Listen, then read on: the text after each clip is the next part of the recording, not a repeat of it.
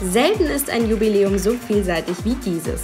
Der älteste Stadtlauf Deutschlands, der S25 Berlin, wird 40 Jahre alt und über 7000 Gratulantinnen und Gratulanten versammeln sich in Westend, um sich auf eine unvergessliche Sightseeing-Tour zu wagen. Das ganze Flair, das ganze Drumherum und die Stadt und die Strecke einfach mega und die Stimmung sowieso.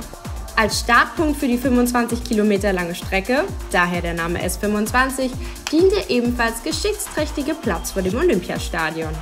Von da an geht es für Starterinnen und Starter einmal quer durch die Hauptstadt vorbei an zahlreichen Wahrzeichen und Sehenswürdigkeiten. Berlin ist immer ein schönes Pflaster zum Laufen. Publikum ist toll, Wetter ist toll, Stadioneinlauf ist toll. Darum kommen wir gerne her und laufen für einen guten Zweck und haben Spaß am Laufen.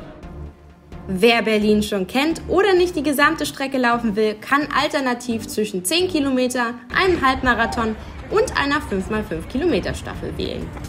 Auch die Kids kommen nicht zu kurz, für sie geht es knapp 2 Kilometer durch Westend.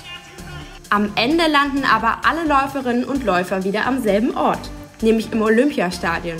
Und dort dürfen sie auf der berühmten blauen Bahn einlaufen. Als der Dana ins Olympiastadion einzulaufen, also was Schöneres gibt es eigentlich nicht. Ein historisches Jubiläum, eine Sightseeing-Tour in Rekordzeit und eine unvergessliche Sportveranstaltung haben ihren Eindruck hinterlassen. Bleibt zu hoffen, dass der S25 Berlin sich noch viele weitere Jahre an Beliebtheit erfreut und Sportlerinnen und Sportler zusammenbringt.